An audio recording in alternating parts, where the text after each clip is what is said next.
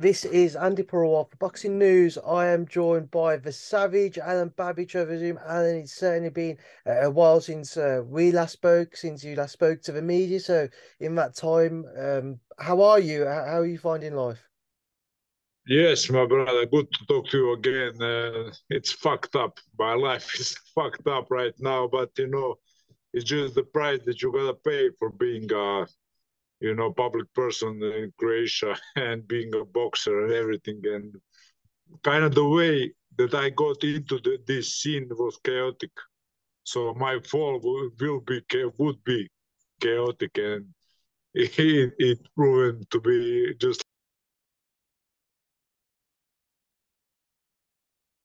Alen, the, the audio's gone. You can? I, I can yeah. hear you. Should we start again? Yeah, like like I said, I just uh, the way I came onto the, scene was chaotic, so I didn't I didn't uh, expect nothing less from my downfall, you know. So everybody's on me right now, and yeah, yeah, this and that. But I'm gonna be back, you know. I don't I don't mind.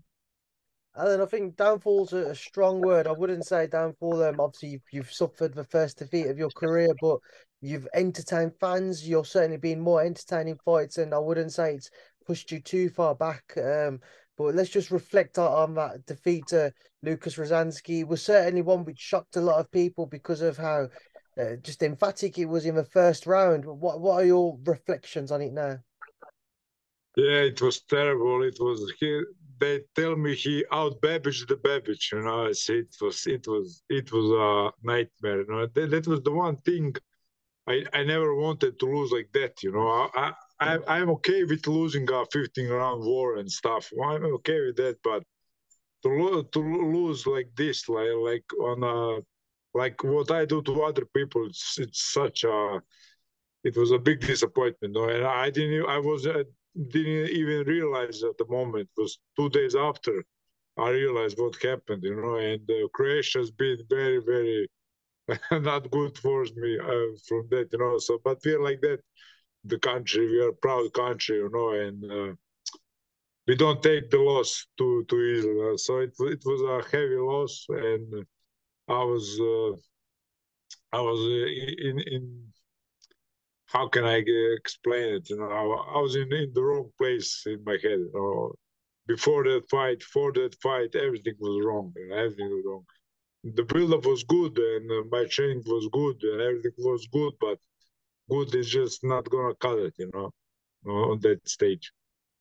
Alen, heading into the fight, everybody expected it to be a war, like you say. Everybody expected to be a very fan-friendly fight. Um, what was your? Did you have a change in tactics or approach beforehand? Yeah, that that was the one thing that fucked me up because I really I know I'm a good boxer. I keep saying that I have hundred amateur fights, and I was almost in the on the in the Rio 16 Olympics. So I'm very good, experienced boxer. But I wanted to show that, you know, I wanted to show that for the first time in my life. I said, okay, I'm going to listen to everybody, and I'm going to try to box. And and I just I just uh, got stuck in between boxing and just destroying this guy. I just got stuck. I got stuck. I didn't know what to do.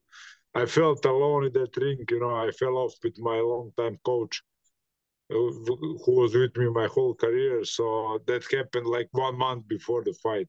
It was the shit. I, I was left alone on the streets one my one month before my biggest fight of my life but I say I'm not gonna quit. You know, I'm not gonna say, oh, I can't fight because of this, because of that, and I pay the price. You know, and I will, I will do it all the same. I wouldn't say, listen, I'm not gonna fight because I don't have my trainer with me. I'm not. I'm not gonna say that. So I went in. I follow. I uh, find a replacement, and you know, I did the best I could. I put everything into that fight. You know, so I don't feel bad on myself on that part because I really did everything I could you know. People questioned after the fight, um, your changing trainer. Do you do you regret changing trainer? Do you think you might be able to go back to your old trainer? Have you have you thought about that? Well, well, that's the hot hot topic now in Croatia now, but uh, we kind of fell apart before that. You know, it was it was already on wobbly legs. So I don't know if, if it can be. It will be the best thing for me, you know. But I think it's very hard, you know. We are both kind of that kind of guy, like fuck you guys, you know. And when we when we go out, it will be pretty vicious. It's pretty vicious, you know. So I don't know if you can come back from that, you know. So I, I'm not thinking about it yet because I just rest now. You know? Try to rest. Let's Go, put over, my dog. My dog is going wild.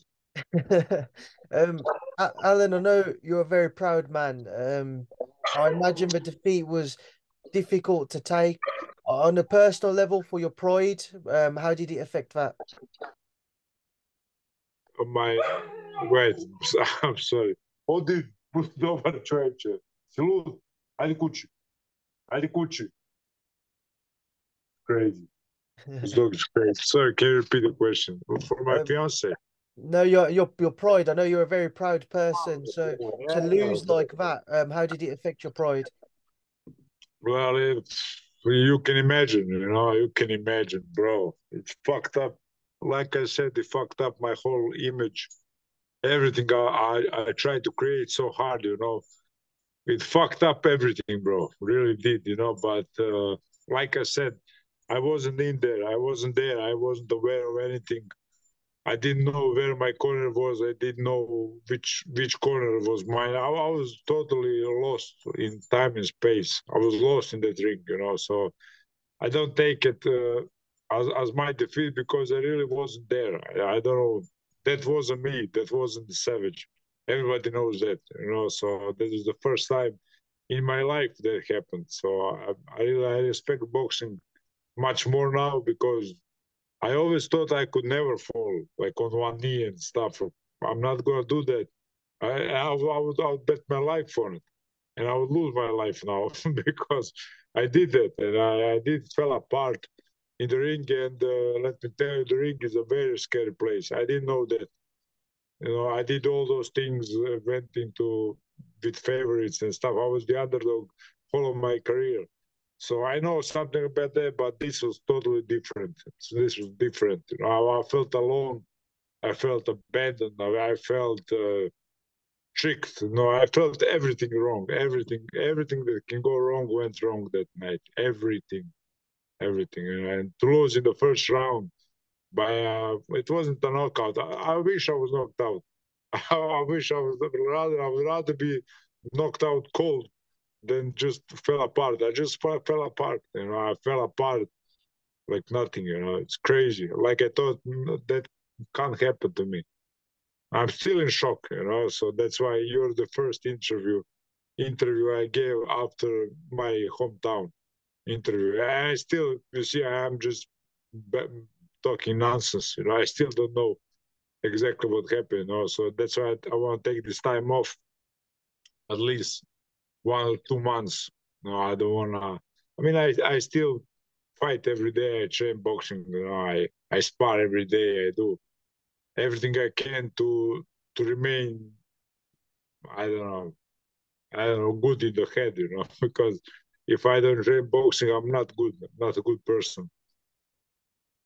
Alen, how much have you watched the the the fight back, or have you tried to avoid it?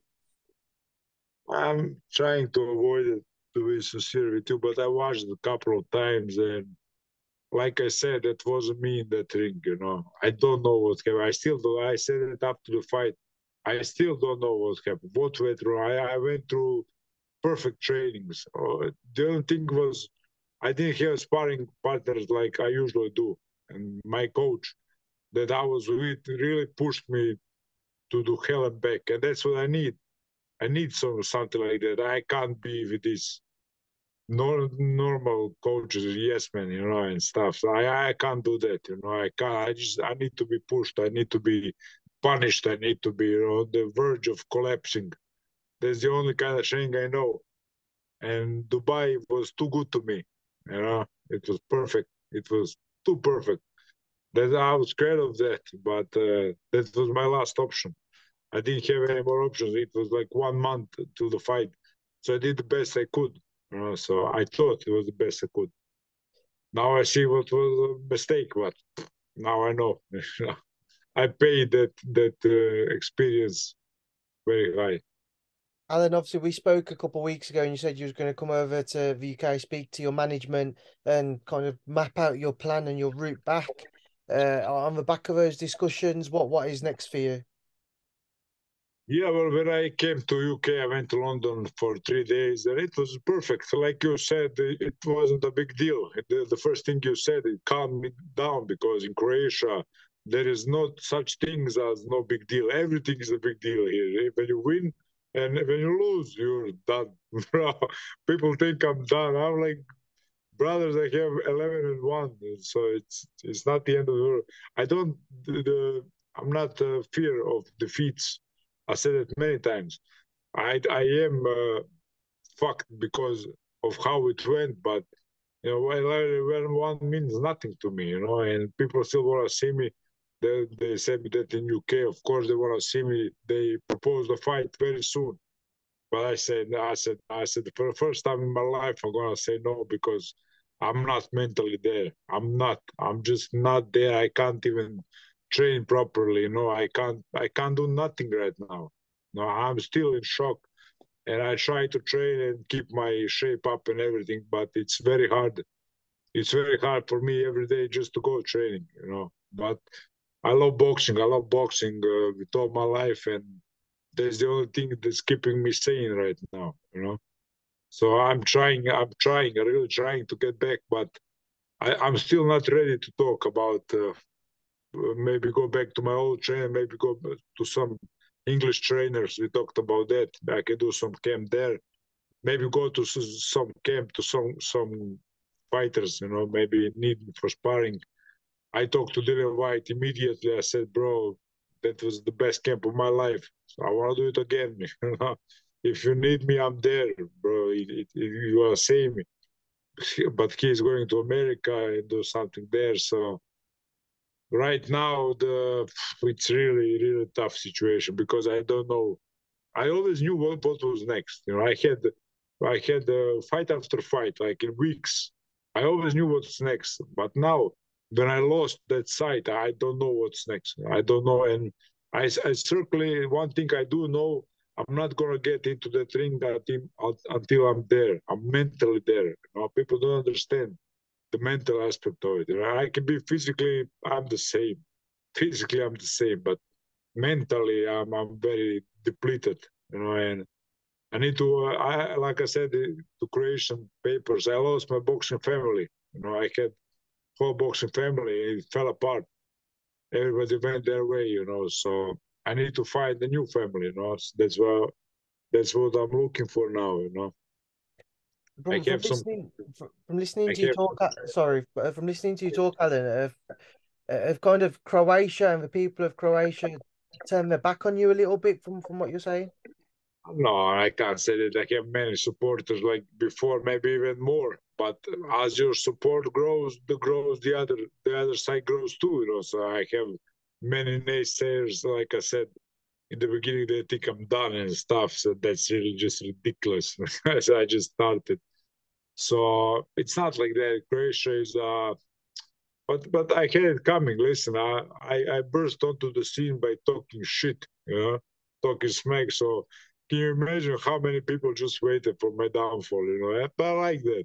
I like that, and I I, I knew if I, I was going to be a public person, I knew that's gonna come. It's gonna catch up to me. You know, I, I was talking to my fiance, beautiful. I was always talking to her, don't don't get too into this. You know, everybody loves us. We are like some movie stars. You know, in my head, everybody said, don't get too comfortable you know, because it will be over in one day. You will see. And exactly what I said, exactly that happened.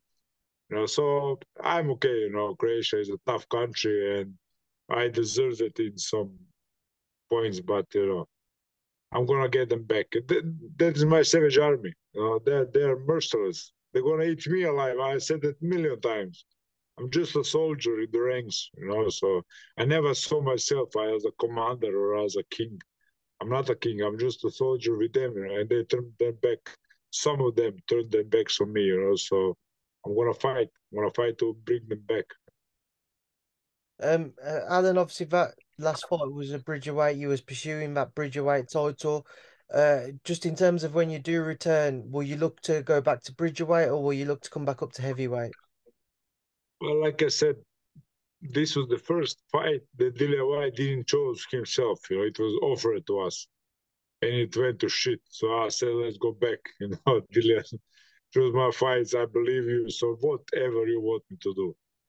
When I say Dillian, I mean the whole team around Dillian, not just him, but he's the main charge. So whatever you say, I will obey. Like like I did eleven fights. It was beautiful, you know. But my my uh, name got ahead, ahead of me, you know, and I started taking everything, everything. I just say yes to everything, and you can't do that, you know. So we did a lot of mistakes in the camp those last last two weeks of the camp. We did a lot of mistakes because I said yes to everything, and I don't know why they even asked me, and I have my team for that. But all the decisions went through me, so I don't like that. I don't like it to be like I'm a fighter you know. And if you ask me something, I'm a proud, proud, proud man. I'm gonna say yes. I'm a proud man. You know, I want to say yes to everything. And most of the times, it's a shit decision. Because listen, they told me you can't be emotional in this game, and I that's exactly what I am.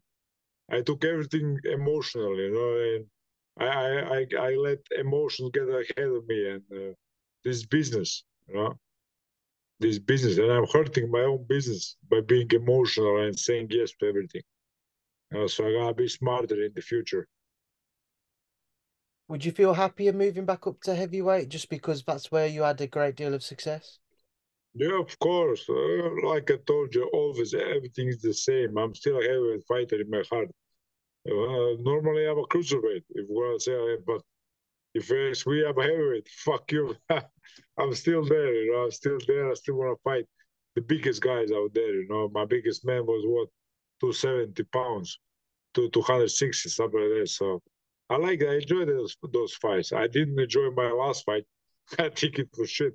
But I'm I'm ranked like top something in uh, cruiserweight, also in bridgerweight, in heavyweights. I think there's a lot, a lot of possibilities for Savage. I just I, I just talk to my team, to Dillian, and I just tell him one thing I, I need to get back.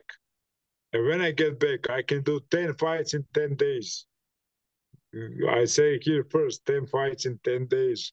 I just need to get back in the game. I'm really off. I'm really off. My heart is not there.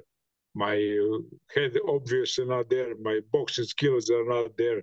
Everything is there, but I need to I need to, uh, you know, I need to just touch it and to say, what the fuck? I need to speak to my skills.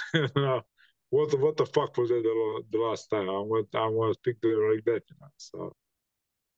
I don't know. Yeah. You see, I, I'm in a different, I'm in a different place than we usually talk. I'm in a very dark place in my mind, you know. But now it's a part of the game, you know. I take it as such, you know. And my Croatian army kind of turned it back on me. So yeah, I I felt abandoned many times in my life, you know, and this is just another time. So it's not like I'm here the first time. No, no. I was I was talked uh, bad about my every fight, and I had uh, ten knockouts in a row, and I was still talked bad every fight. So nothing changes. You know?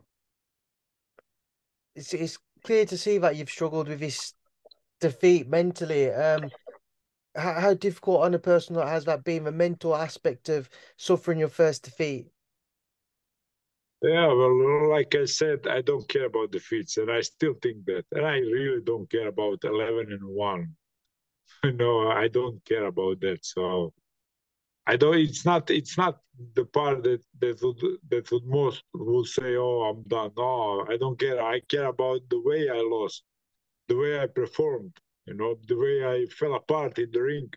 That's the things that that interest me. I'm learning this game. I'm still I'm still on a learning curve. You know, so now I'm much wiser now uh, because I know that can happen to me. I, I didn't thought that. I had 100 amateur fights. I had all kinds of trash talking and stuff and pressure mounting, everything. But I never fell apart, you know. And this time, I fell apart, and it was it was such a scary place to say in that ring, you know, when uh, you don't feel protected, you know. I always feel felt like I, I'm part of the, this team. I'm part of, you know, my coach is behind me and everything. This time I didn't feel nobody. I didn't feel, I didn't feel nothing in that ring. And uh, ring is a very scary place. I said it 10 times, but that's really what I mean. You know? So very scary. I didn't get punched in the face once. I don't know how, what happened but I didn't get punched. I didn't feel like, I mean, Balski, my last fight, hurt me much more than this guy much more. And, and maybe 70 fights out of 100 were tougher than this fight. It really wasn't like that. It was pure mentally. That that loss was pure mental. It was nothing physical. Uh, so yeah. I know and you... I myself from being a mental warrior. I'm mentally tough. I went through shit and stuff, and and then boxing shows you you're nothing. You're nobody. Alen, I know you haven't really thought about uh, potential fights from the sounds of it, but when we did speak last before the, the Rozanski fight, you mentioned um, potentially facing Derek Chisora. The Dave Allen fight was being mentioned. Have you at least uh, at all spoken to, to your team about them? Would you still be interested in those fights when you're ready to return? Well, of course, of course I am. But listen, like I said, I'm I'm nowhere near where I need to be. That can change in one day. That can click in one day, but I'm nowhere near fighting. Nobody right now. You know, I'm nowhere near sparring. Believe me, I spar like shit right now. And that is the, the most disturbing thing about this stuff because I really lost myself and I need to get back, you know, and I need some time off. I need some some time talking to myself and uh, seeing what's going to be next because you know this was this was a mental defeat. It's much harder than just a physical one. Physical one doesn't do nothing to me, but a mental defeat that does whole lot. You know, so I, I can't go back in there with a head like this. You know, I know I know what, a strong head needs to be because I had one. You know, and now I don't. So I know where I need to get back. I need to get back, and then we're gonna talk opponents and stuff because I can't tell you nothing else now. That's completely understandable, Alen. Um, just a, a couple of things away from yourself. Uh, with Fabio Wardley, we obviously saw a massive fallout around a Frazer Clarke fight that never happened. Did, was you keeping your eye on the that scenario, everything that happened? Yeah, of course, of course I did. I mean, for Wardley my brother, a very brave brother, and uh, yeah, I, I, love that fight for him. It's it's a heavy fight. It's a tough fight because my guy fought uh, Frazer in the amateurs, and he says it's good, it's really good, very heavy, heavy-handed and stuff. Uh, so, but I don't know what what went wrong. You know, the, the politics got into it again. You know, and Wardley is just a guy just like me, just wants to box. I just want to, I just want to box, and now he needs to be the lawyer. He needs to be accountant needs to be everything, you know. So I think that's what's that's that fight is what is wrong with boxing right now, you know, because you do even Fabio, even me can't get fights. So who who can get a fight? We're easiest guy in the whole business to make a fight with. And even us we can't get get fights, you know. So I'm really I mean he's gonna be good, you know. It's not gonna be nothing nothing terrible happen to him. So everything's gonna be good, you know it will be good. And Alen, just with um, Dillian Whyte, there's a lot of talk of uh, the rematch with Anthony Joshua taking place next. Uh, if that does come to fruition, uh, Dillian will be the underdog heading into it. But how would you fancy his chances in a rematch with Anthony Joshua? I fancy Dillian over every, anybody. You know, so Dillian, Dillian learned what I'm learning right now. He told me, "Bro, I've been there four times. You know, been there four times. It's gonna be good. I said uh, that was the first thing that I said. Okay, so this happens to people. You know, I'm not the only one. You know, I'm not the only one because for some time I thought it only happens to me. You know, when your mind goes dark, you, you can't see the light. You know, can't see nothing. You really can't. So he said everything happened to me four times. So Dillian, Dillian is experienced, experienced Joshua, of course, but Josh is kind of on the downward spot. I, I don't know about the fight, you know. But it's like I said, I'm just looking forward to be called to the by camp. That's it. You know, whoever he's fighting, I'm gonna back him up. Whatever happens, I'm still gonna be there for him, like the first day, you know, because he was for me there in my toughest days of boxing. And just a final one, Alen. Um, a week before you fought, we saw a big, an upset victory when Zhilei Zhang stopped Joe Joyce. Um, since then, Joe Joyce has said he's going to invoke that rematch. Uh, do you think that would be the correct move? You've just suffered a, a, big defeat, a stoppage defeat yourself, and you see that the week before you fought. Um, do you think it'd be correct for Joe Joyce to pursue an immediate rematch?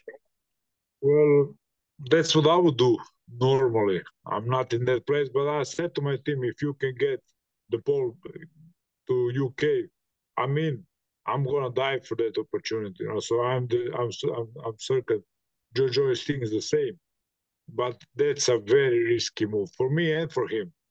You know, it's a do or die. It's a do or die, but that's my mentality my whole life. So I'll take the fight. For that fight, I'll be back in one day you know so i can understand why joe joyce wants it because his his uh, image in uk suffered also know maybe the same as mine in croatia and i feel i feel i feel the pain you know so uh, that will be the best if he can get back if if i can get back that will be the perfect scenario you know so now he he is also a very brave man and i think that's a very brave thing to do because Zhilei took him apart just like this guy did to me so I, I feel him, you know, I feel, I feel, I feel his loss. I know what he's going through, you know. And now I know much more about boxing after that fight. So it, it's a great experience. I pay dearly, but I know a lot more about boxing right now, you know. So if he thinks he's ready, I'm gonna watch the fight. You know, I'm gonna be in his corner. Alen, I'm gonna leave the final word to yourself. Um, is there anything you'd like to say to your Savage Army, to your team, to your fans, to to anybody as you kind of enjoy your downtime, but you get ready to uh, make your way back into the, the boxing world? Yes, my Savage Army. Uh, what can I tell you? Uh, we took a fall. We took a beating. You know, my Savage Army took a great hit, but that's good. You know, because we we rose from nothing and we're gonna we're gonna go back, go back if needed, you know, and I'm gonna be back, my savage. For all you guys, I said you can do it, you know, and now who would I be to say no, you can't? No, we're gonna do it. We're gonna go with this till the end, you know. You're gonna see the end of me in the ring, not in the, you know, like this, you know. So I said, Jeremy, bear with me, you know. I love you like the first day, you know, and you, all of you who say bad things about me, you're, you're all my people you know, you're all Savage Army. I all love you. It's nothing but love for the Savage. So I'm gonna be back and watch me, watch because when I get back into that state, I'm gonna be dangerous. I'm gonna be a very dangerous guy. Alen, it's a pleasure as always. Uh, I hope you continue to enjoy your, your time away from the sport, and I look forward to seeing you back soon. And I'll catch up with you again soon with that in mind. Thank you for speaking to me, and yeah, just enjoy your downtime. Thank you, brother Andi. Be good. Be good. Thank you.